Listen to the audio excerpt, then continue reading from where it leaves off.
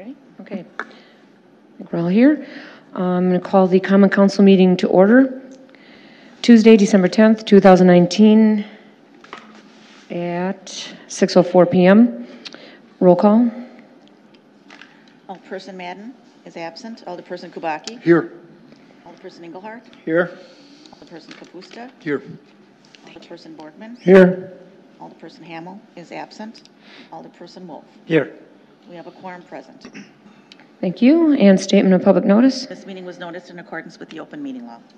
And communications, uh, I have none, other than this is our last meeting for the year, and I wish everyone a Merry Christmas and Happy New Year. Um, And now we're rolling into public comment. I had a few brought up, just to remind anybody who wants, who wishes to speak, it must pertain to an agenda item and need to fill out a form and bring it up here to either Jill or I. Thank you. So with that, Deborah Bolton. And of course, state your name and address when you get up to the microphone. You- I think you know how to do that. Hi, guys. Deb Bolton, Westwood 86, South 7543 Kingston Drive. Uh, I'm here to speak on the rezoning of the formerly known as the Ingold property. Um, I spoke before at the public hearing, you guys are aware of that. Um, Even though I am going to divert slightly, I know it's not on the agenda, but one thing related to this that I do want is when you guys get to approving other agendas, can you please uh, make a note to change uh, my comments from the um, Plan Commission? Um, I was misquoted. Uh, One of the things that I had stated in there was, um, you know, since 2015, this is now 2019, 2020, things change. One of the things that is changing is, across the street from this development is, the school is going to be developed. And that was my verbiage. The school is going to be developed, and we're fairly certain something's happening to that big old playground. It's not going to be a big piece of grass anymore.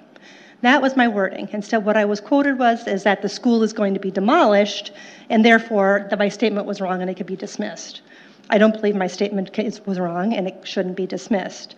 That's something you need to take into consideration when you're thinking about this. You need to think about the whole and how has the community changed. And back in 2015, that was a viable school and that was a big open playground. That is not going to be the case. That is going to change in some way. I'm guaranteeing it. So you got to think, you got to look at what's going on as a whole in the community. You know, so this is different than what we were looking at in 2015. Um, I did a little more looking at our zoning because, you know, my comment has been this is too much stuff. This is too many buildings in too little a space. Um, it's, it's not meeting the same open space requirements as an RM3 zoning. And that's really not fair from that perspective to the existing neighbors they were expecting something that looks like them. When you, you know, when you're hovering at a satellite view and you're looking down on this development, it should look like what's next to it. And this does not. This, is, this simply does not. It does not have the open space. It doesn't have the big yards.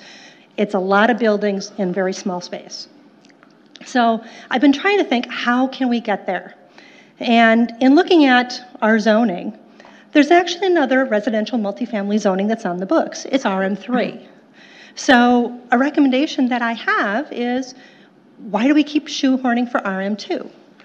Why don't we suggest that, fine, we will allow multifamily, but instead use the RM3 expectation?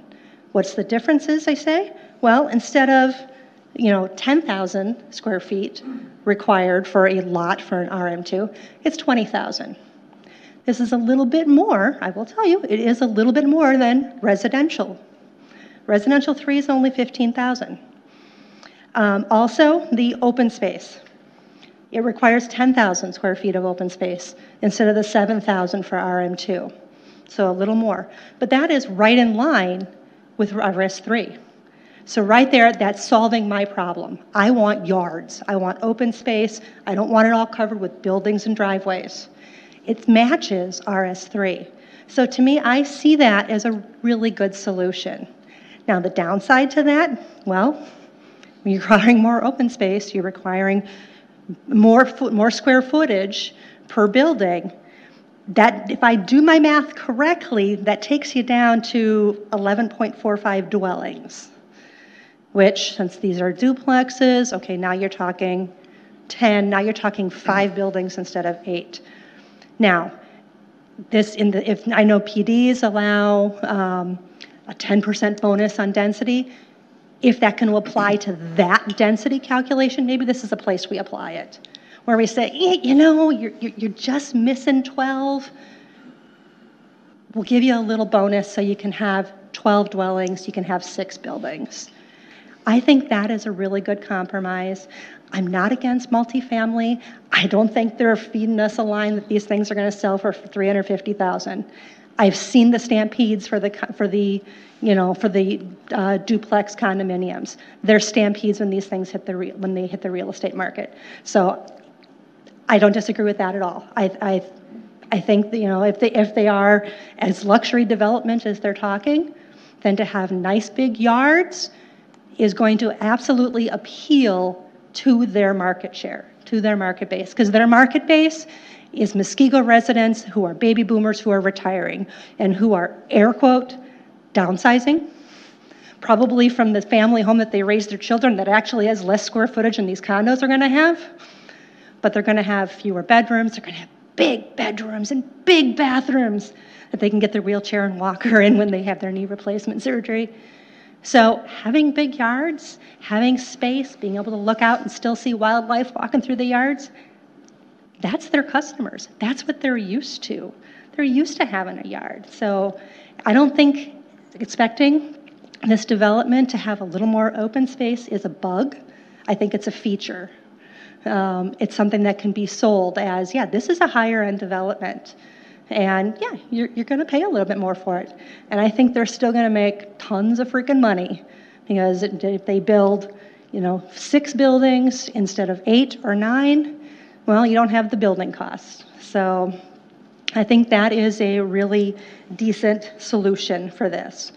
Um, you know, and regardless of whatever we decide for zoning for this, any development is going to have to meet that 75% open space. And quite honestly, I don't see how that can. I really don't. I mean, just looking at that, I do not see how 75% of that is green. I just, I don't. I can't see that. So it, it's going to run into a wall at the BSO at some point. Uh, so I, I hope you're listening. I hope you take my suggestion and, and, and we'll give it um, some good thought. Thank you. Thank you. Um, Robert Bleasy?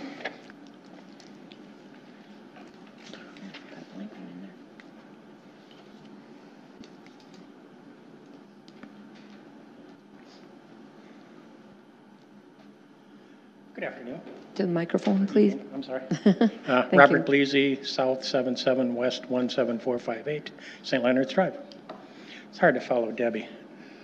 Uh, My concerns basically are, if you look at the map, last time we had them up on the TV screens, uh, basically, if you look at our lot sizes in comparison to the lot sizes of this uh, uh, development, uh, as Debbie has said and as everybody last week said, this is definitely a large complex shoehorned into a, a very small lot.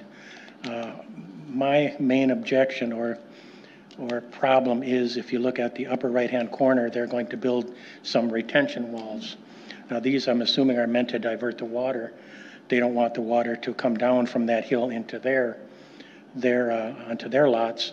Um, So therefore, it may, uh, I'm assuming it will divert it into our backyards again. And right now, all of, our- all of our sump pumps run, run constantly. We have a lot of water running off that hill into our yards.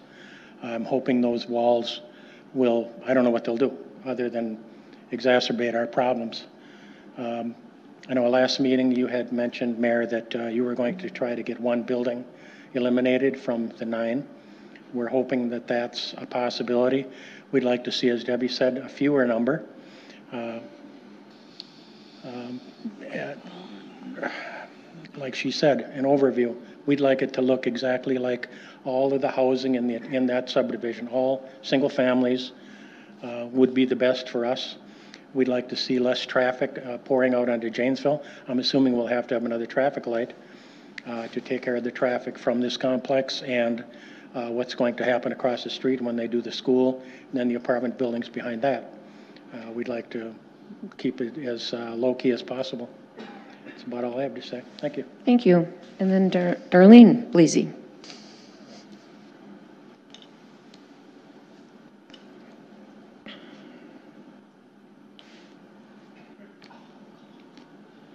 Darlene Bleasy, South 77, West 17458, St. Leonard's Drive. Um, Just like my husband and Debbie said before, we're worried about how many. We know eventually there's going to be something there, and we'd like to bring the number down a little bit. Everybody keeps talking about water problems, and I know it was brought up about engineers will take care of that. I worked for an engineering firm. Engineers can be wrong. Look at the deep tunnel project in Milwaukee. I mean, they usually go by the 100-year flood events. They have been wrong before. When it comes to water flow, engineers can be wrong too. I just think it would be a lot easier on all of us if we could just keep the number down, not shoehorn so many units in one small area. Thank you. Thank you. Okay, that uh, concludes the public comment period. Uh, We'll roll into unfinished business. Ordinance 1440, an ordinance to amend the zoning map and 2020 comprehensive plan of the City of Muskego Home Path Financial LP from B3 and RS3 to PD as the second reading, so we do need a motion to approve. Move to approve. In a second, please. You need a second to Second. talk. Thank you. Okay, um, Adam will come up first, and I know that the uh, developer's here, and they will follow Adam.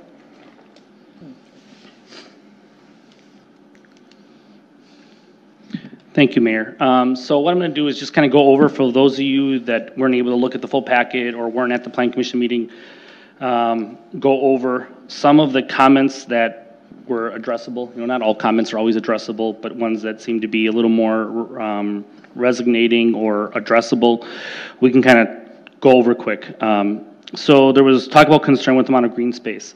Um, So as, as was mentioned by a few people, there's a 75% magic number that we hear about with open space very often. Um, f- Not everyone may know, um, the zoning code actually sets a set square footage for open space for all properties in the city. But because the city has a lot of non-conforming lots, like lake lots are a perfect example because a lot of them are substandard given when they were divided. Um, the, the city has an alternative that says if you can't meet the set square footage open space, you are allowed to use then the calculation of 75% open, 25% consumed. So the code gives that advantage to those that don't even, so there's some, a lot of lake lots that don't even meet the minimum open space with the lot size altogether.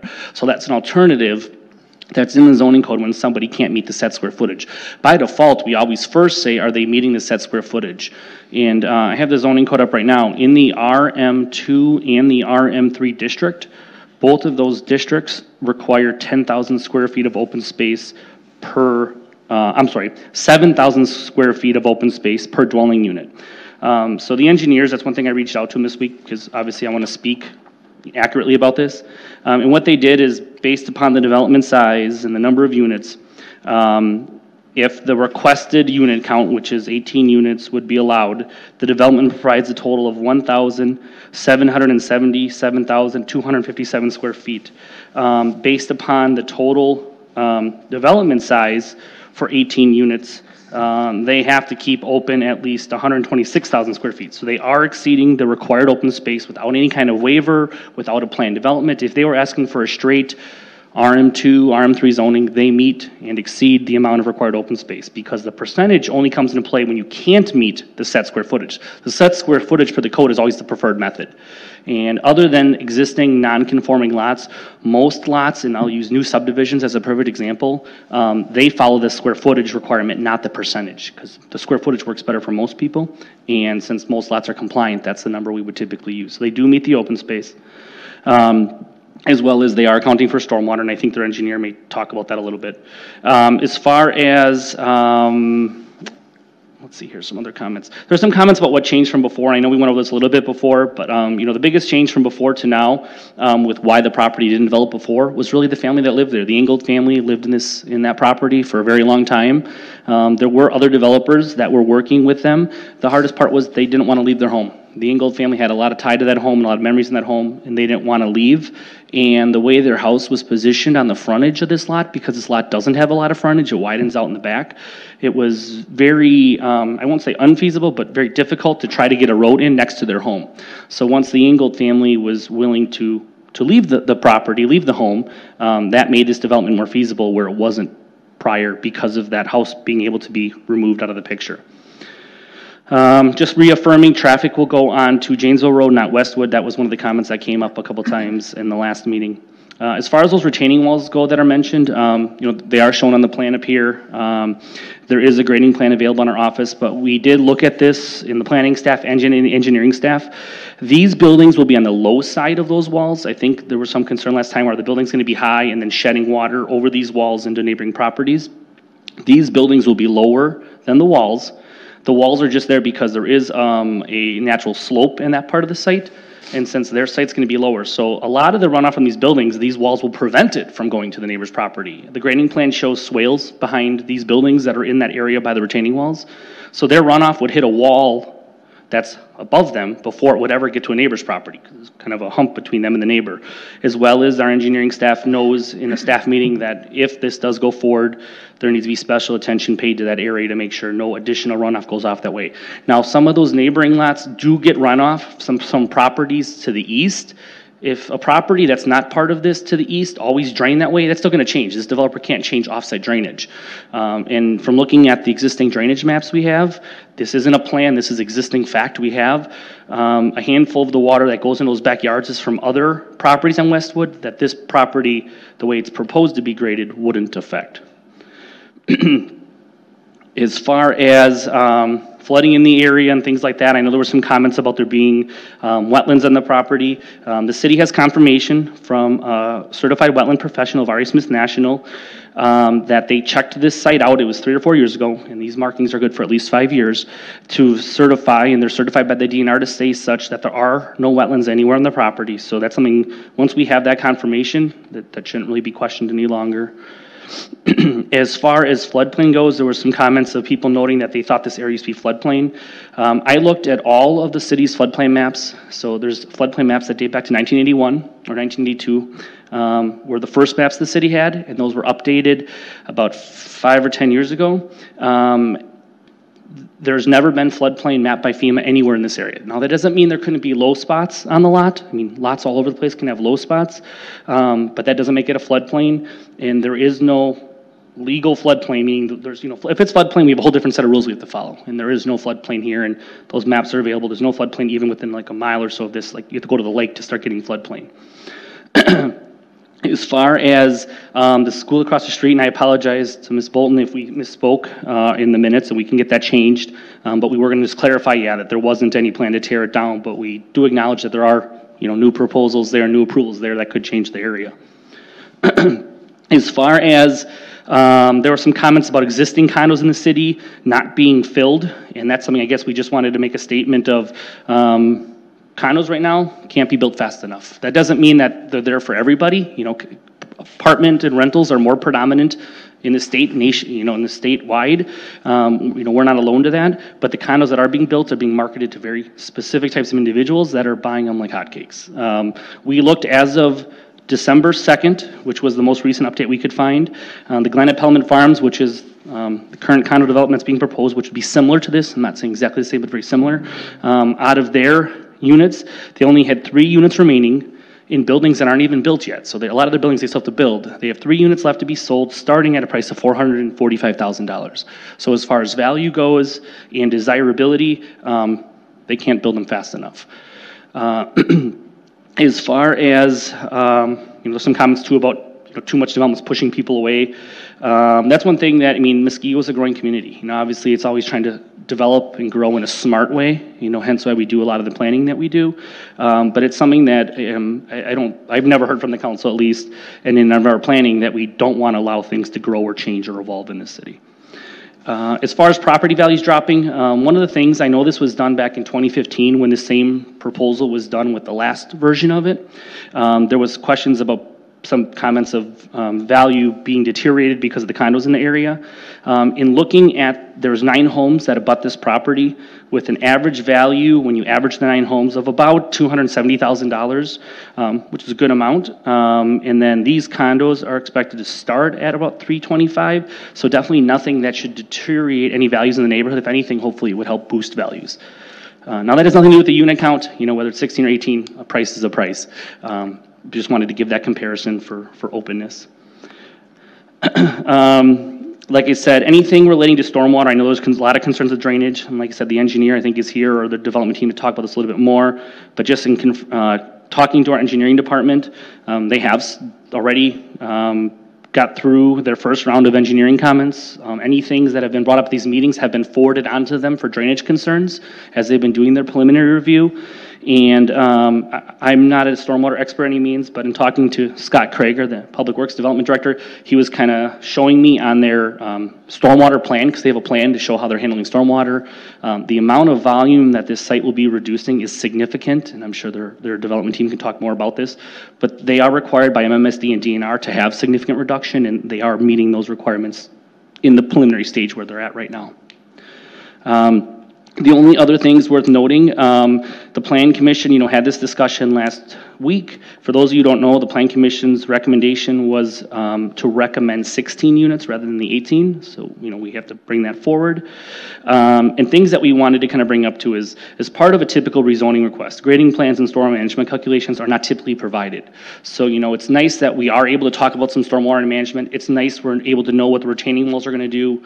It's nice that we know what some of the preliminary grading is going to do. But that, that shouldn't be a factor of approving a certain density. Whether it's two units, 10 units, 20 units, doesn't matter. Stormwater can always be addressed, and any engineer can tell you that.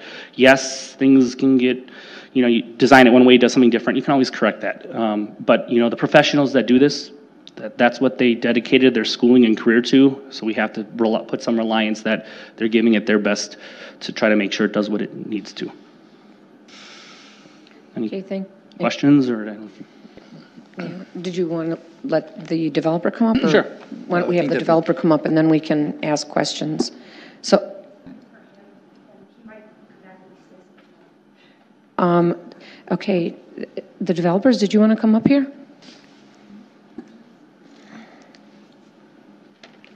My name's Ed Woodland from Home Path Financial, representing the developer, and um, we appreciate your time tonight. We wanted to talk about what our proposal includes and what it doesn't include. I think there's a lot of things flying around that are not accurate. We wanted to try and address some of them. The property is currently zoned partly commercial in the front and then residential in the back. We proposed the, the planned development because we thought this represented a, a compromise to the community where it's not really a commercial site. It's got small frontage, as people have mentioned, so it's not really a high visibility site. Does not really make sense for commercial. From an economic standpoint, we proposed the duplex product because one of the advantage of that is it it allows us to get um, nine buildings and 18 total units, but the buildings will look like a single-family residence. So we thought that was the best combination that would match closely to the existing property and existing neighborhood without drafting away from that, uh, without taking away from that. The other thing, you know, we talked a lot about um, uh, drainage. Our engineer, Craig Donzi, is here, and as Adam just mentioned, our post-development drainage will be significantly less. Our water is really not headed towards the adjacent properties. We think we're going to solve some of the adjacent properties' problems with drainage by building the retaining walls. And if you see on our plan, we have two large retention ponds too. They will address, I think, virtually all of the storm drainage issues that some of the adjacent properties are, are showing too. Um, to talk about the value, Adam is correct. We're proposing to start anywhere from 325 to 350. So we think our product is going to enhance the value in the neighborhood, not take away from the value in the neighborhood. Um, um, the road we intend to build, uh, we've, we're, there's some issues on Janesville Road that we're working with the county that's going to clean up some of the right-of-way issues. It also benefits the buildings to the, uh, I guess it would be to to the north where the popcorn place is, would allow them to access off of our public street to enhance their parking, for allow them, their, those businesses to, to work more efficiently.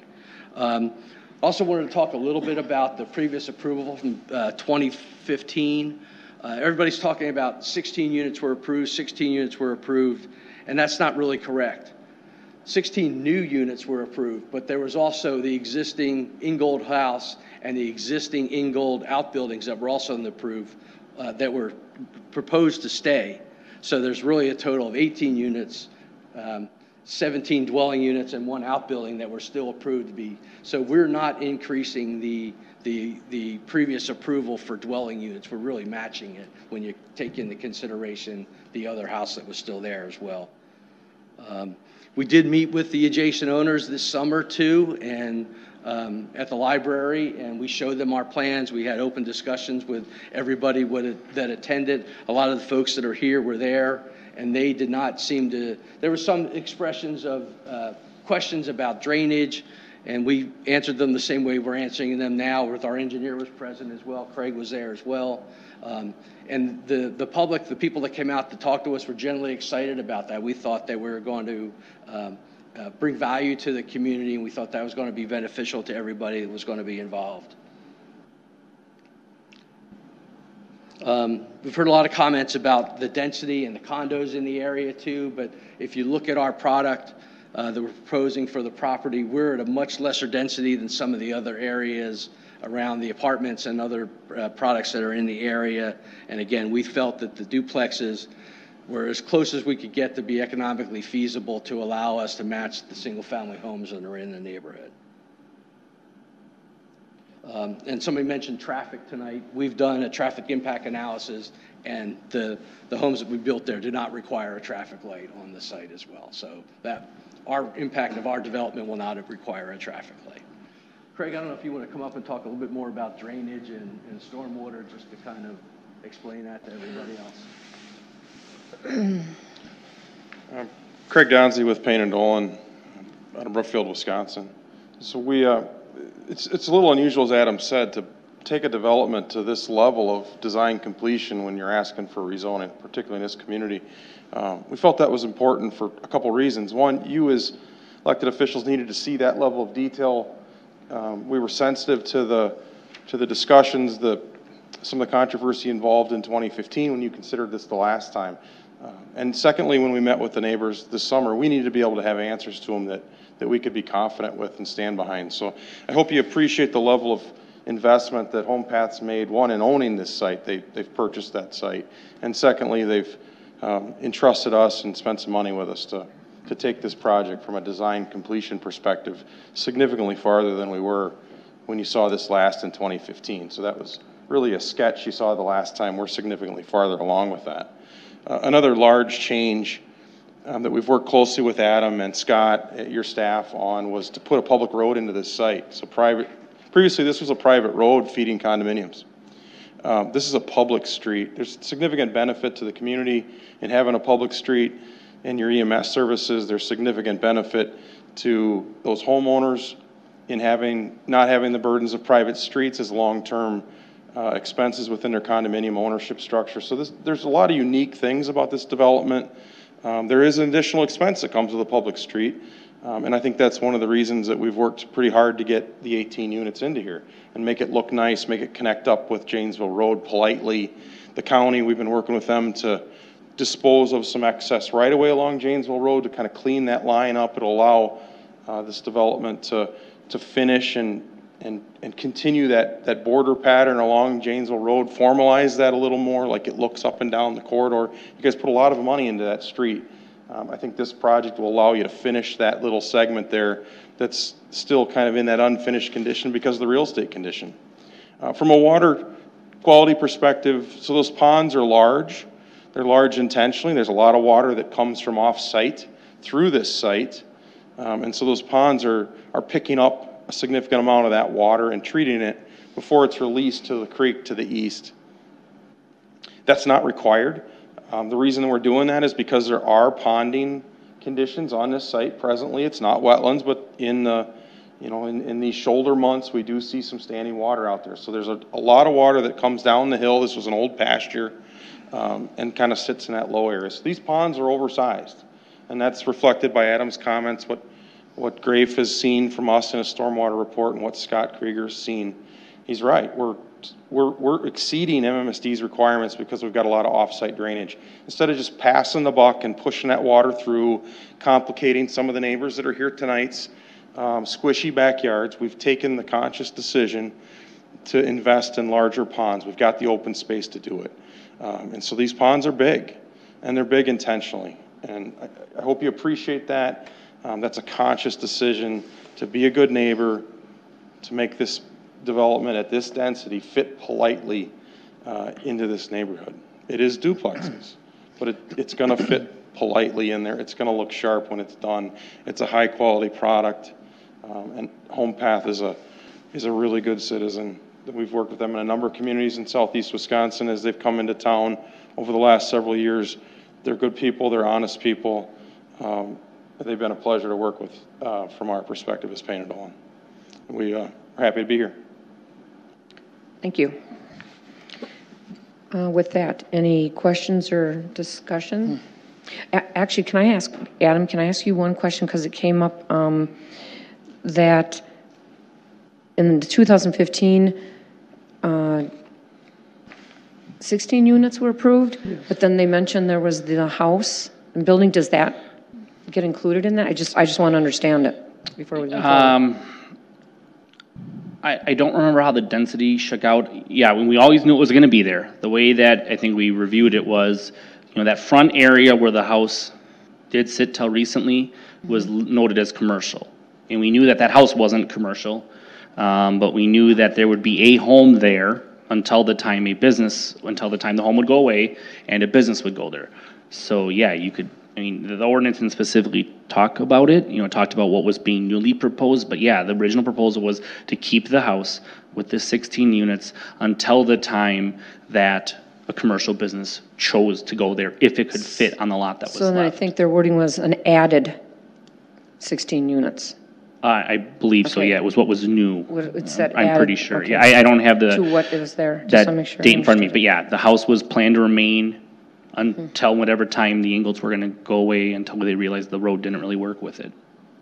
Okay, thanks. Are there any other questions? I just, Adam, based upon your conversation tonight, is this going to be now 18 units or 16? I'm a little Well, confused. so the, the, their proposal, so we Yep. can only react to the applicant's proposal, is 18 units. Okay. Um, The plan commission gives a recommendation on any rezoning, especially if it's a unit count. They can, uh, they can't give more, they can give what's requested or, or less. Um, Plan commission's recommendation was 16. The ordinance in front of you is still their request, which is at 18. Okay. um, Is how it's written right now. okay, Well, I, I know wh- when, when I voted on the, on the 16 back in 2015, it was only because it was residential already. And I was allowing increased use of residential where there already was residential. I had, guess I had always hoped, well, now when I saw the Ingold property go away, I guess I was thinking that somebody with a little imagination would come by and and develop that all as a commercial site. Um, Unfortunately, I guess that hasn't happened. But I, I I can't, I can't, I don't think it belongs there um, in, in light of the, of the, the change in the property. And I, I guess I, I, I would not go for the 18, I would definitely go for a 16 if anything. But I had really hoped like I said, that somebody with a little imagination would have come by and found a way to develop this commercially. Seems how there's commercial on the west side of it, there's commercial on the east side of it, there's commercial across the street. Um, it, it's totally surrounded by, by commercial property. Why you would want to stick something in there now that's residential is, is kind of baffling to me. I, I realize it's got a small frontage, but that's what, that's what imagination is, guys. And, um, you know, I'm, I'm, I'm disappointed to see this kind of development. I guess I feel a little bit like the individual that was here last week that said that maybe this is just kind of inevitable um, because it's the least you know, if, if you're going to develop it at all, it looks like this would work. But geez, I just can't go with the more, more and more units. I, I, I, it's way too tight. Um, I don't think comparing it favorably with uh, Farms, that like, like we did, uh, is, is, is justified. Pellmann Farms is a hundred thousand dollars more. So I don't think it's, I don't think it's a good apples and apples thing, but, um, uh, wh- why it's even residential, it was residential because the Ingolds were there and they were ever. They're gone.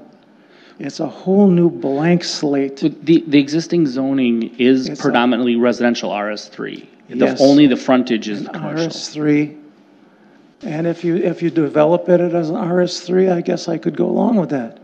But, but it, to me, it's like a blank slate now. It should be, eh, why, why in the middle of a, of, on Janesville Road, where we've strived in the cen, in the center of our city to bring some commerce in, bring some commercial properties in, give people something to do in the downtown rather than drive through it and go on their way to some other downtown area. Why, why would you stick a residential area? It just, it just doesn't seem to fit right. And I would, I, you know, if anything, it's a 16, but it's not an 18. Mayor, Alderman Kubacki? um, I'll just speak in favor of the proposed development for a number of reasons, Um, and and not to rehash what everybody else has said. Uh, First of all, I- I can't imagine the neighbor's reaction or my reaction if I lived there to have a commercial site back there rather than a residential site. I, I- I can't, uh, to me, it's not even feasible. Uh, The water issue is a big issue.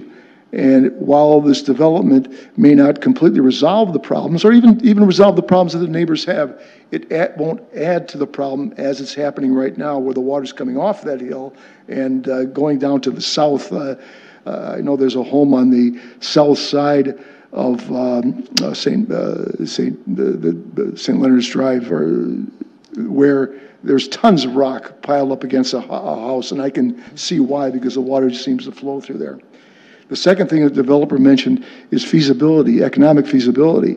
Um, We've had two or several different proposals for this area, all of which have been multifamily properties, uh, for a number of reasons. One is that the developer needs to make a profit out of this to put a a residential street in the area and develop these, uh, these homes. It's not inexpensive to develop property in today's marketplace. I appreciate how much work they've put into the property at this point in time. We've never seen this kind of, of, uh, of detail, especially with stormwater. Uh, And I appreciate that because that's a neighborhood concern, and I think you've addressed that concern well. The last thing is that we've approved this before, uh, the same type of project in the same area. It's, um, it's a a residential area surrounded by a residential area. Uh, Commercial belongs on the, on the, uh, on the uh, street side of this where, where it's going to remain. Uh, This property seems to fit well into the, into the neighborhood. Amen. Uh, Alderman Engelhardt? I uh, want to point out something else. I rather like the idea that the uh, commercial front, the way this is working out, uh, would not present another building right on Janesville Road and that street entrance there, uh, especially provided if the section that was going to the, to the neighbor commercial, uh, is that to be sold to them, or what, what is the plan there? Y- Yeah, they've been working early on with those neighboring businesses.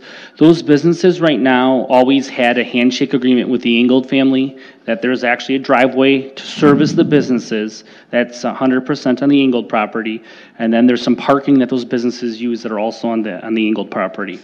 And um, when those business, it's actually one owner that owns both buildings, when they uh, heard about this, you know, um, they, I don't want to speak for them, but they seemed um, concerned with what does this mean for our access point? I know that some of their tenants, I've specifically heard from the owner that their tenants were very concerned about having, instead of having two access points that they have now, they would lose just down to one, and the one that's left isn't really wide. Um, so right away, they reached out to the developer. I'm not sure if they'll reach out to them, which way it, it worked. Um, the tentative talk, and I don't want to speak for them, but the tentative talk was, yeah, that that little outlot that's remaining on the east side of the driveway would potentially be sold to or some kind of agreement with the business owner to the east, since their access point does have to go away because the new road's there. And that the talk would be having a connection off the new road that would then allow them access in two points again, um, and to allow some parking to remain is my basic understanding. There's two buildings in front of, is there two buildings existing in the commercial area now? Um, Yes. yes, yeah, to the, to the east, and they are both they have the same owner. They're under one owner, all one property or two Two legal properties? Two legal properties. They properties. share like a parking and they share their access points. And what would be the aspect in the future of them uh, possibly, since those are not great big buildings or anything, the possibility that they would redevelop and want to change the picture of that altogether? Yeah, someone, someone could if they wanted to. It'd be a somewhat desirable commercial site for something bigger possibly there, right? Yes, it, it could be. It could be. And adding that little sliver would um, enhance that. If- Yeah, if the biggest, paid I think the biggest thing is the idea of access and parking. That, that's at least what I've heard from the neighboring business owner. Okay. Um, I tend towards the idea of reducing it to the 16 instead of the 18 too. Thank you. Thank you. Is there anyone else? Alderman Wolf? Um, You know, we did compare this to uh, the Woods Road area, and I think that it- it's completely different. First of all, you touched on the private road, which, which uh, was in the original plans, and that's also what's off of Woods. Um, You know, we're going to put this in, it's going to be more cost to the city and so on as the condo development. Um, I, I don't like the idea of a, of a public road in there. I, I prefer a private road. Um, And, and and again, if we're going to compare it to what's going on with Woods, that's what they have there. And, and, uh, you know, I, I think we, we made, we started making these uh, exceptions more and more. And, and I went back to the last meeting we had. We had the, the Parkland Mall I brought up. We, we made an exception for height in there because that was a focal point. And, and as Neil said, it's kind of our downtown area. Uh, So we made an exception there, and then the last meeting, we made an exception on height out of that area for a new project that actually I was against because of the height, just on principle, because we're, we- we're developing and changing things and and rezoning things, and we're doing it, I mean, across the street along the lake, they're gonna redo that, that's been in plan, it's being redone again. I don't even know what the plans are right now, what, what we said we would like to see to where they are now. I, I'm not sure it's acceptable for B over there. Um, So I'm not sure if, if, if the zoning's right on this, as, as Deb pointed out.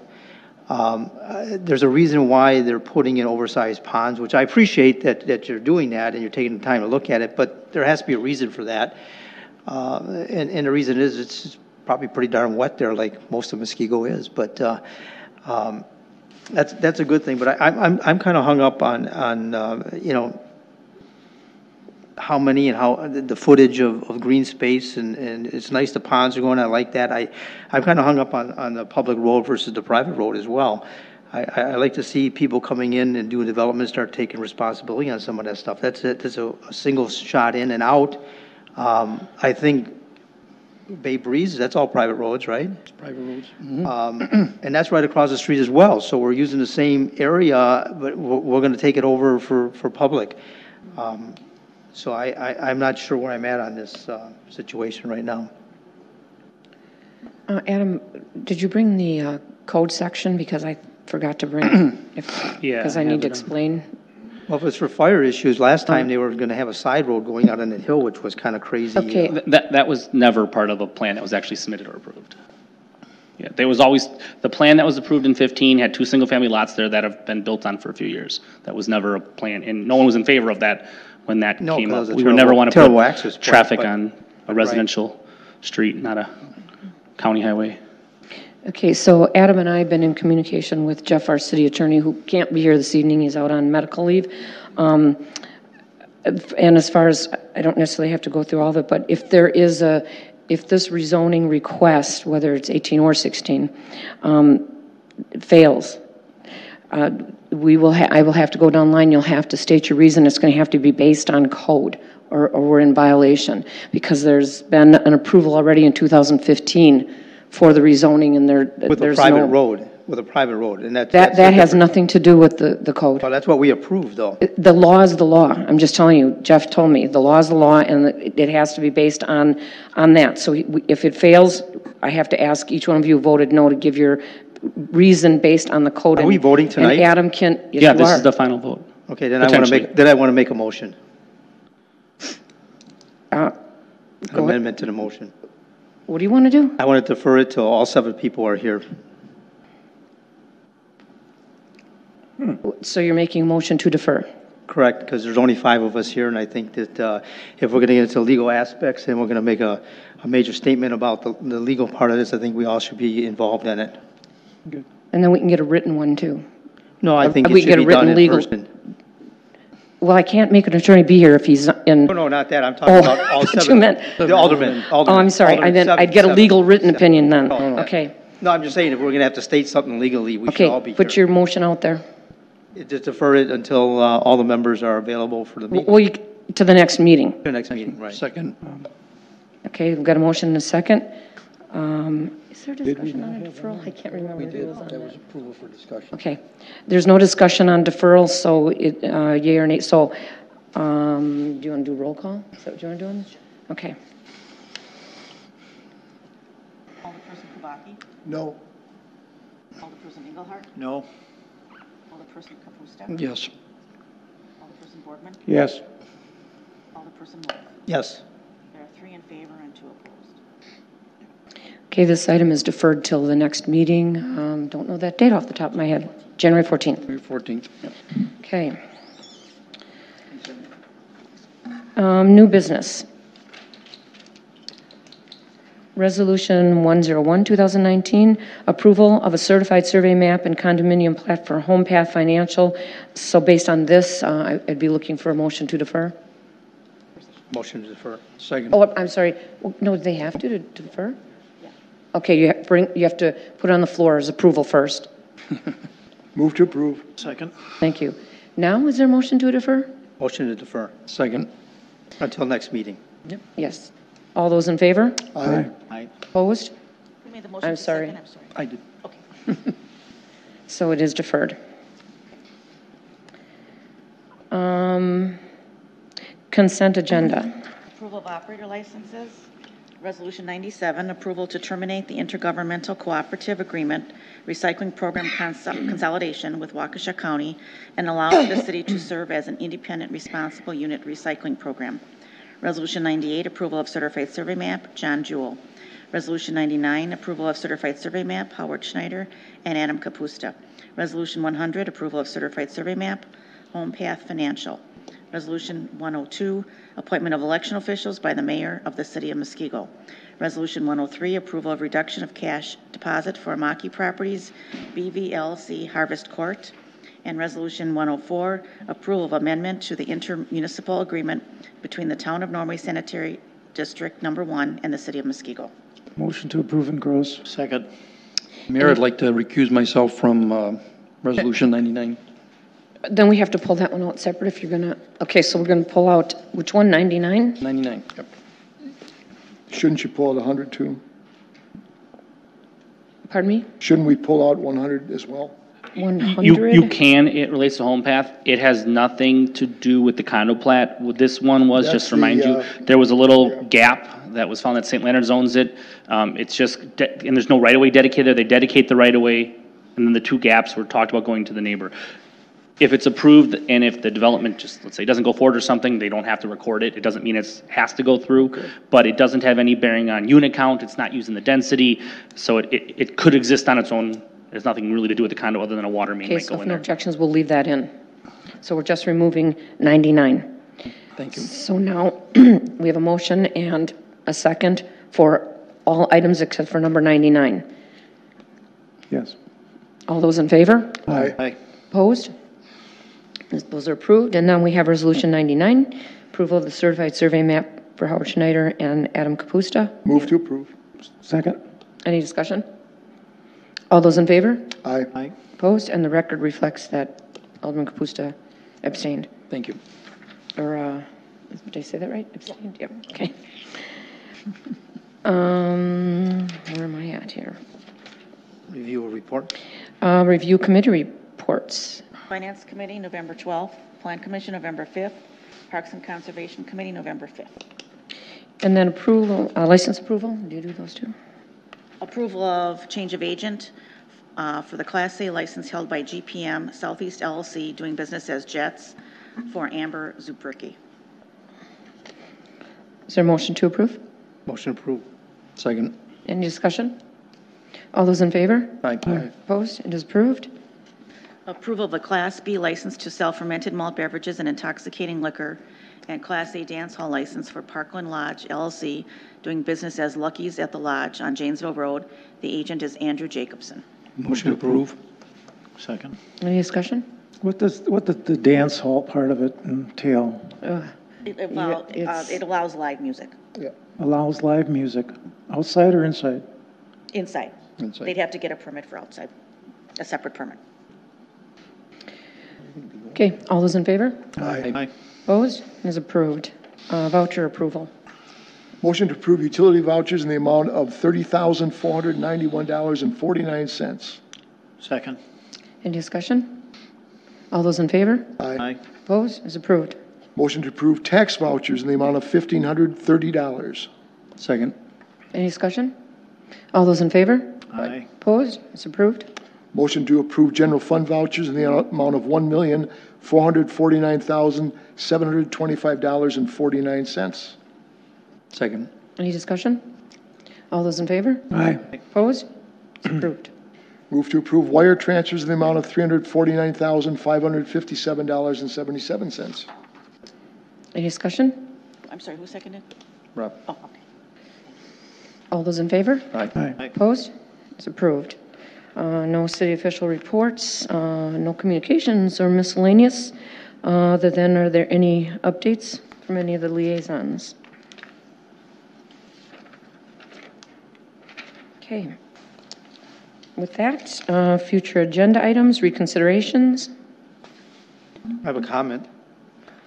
I uh, drove up uh, Janesville Road, and the Christmas lights are all lit up. I mean, it- it's, they look pretty good. Um, A little generic, I mean, we didn't know what we were getting into. I- I'd like to see if we expand on this to add some colors in there, but uh, other than that, I think uh, it's something different we haven't seen before, and kind of adds to the holiday feeling, so that looks nice. Okay, Could I add a suggestion on that? This is It's- two part to buy that? Two parts to get those? We're doing some this year and some next year? Was that what we? there's approved? more money for more, what- Yeah. Will they be the same? Well, that's what I was mentioning, Yeah, that we because should take a what look he's at. saying, then are we going to get color and mix? this isn't on the agenda. I'm Oh, it's just not a comment, comfortable just a comment. talking about it, so, Future talk then. yeah. Thank you. Okay. Is there a motion to adjourn? So moved. Second. All those in favor? Aye. Opposed? We are adjourned.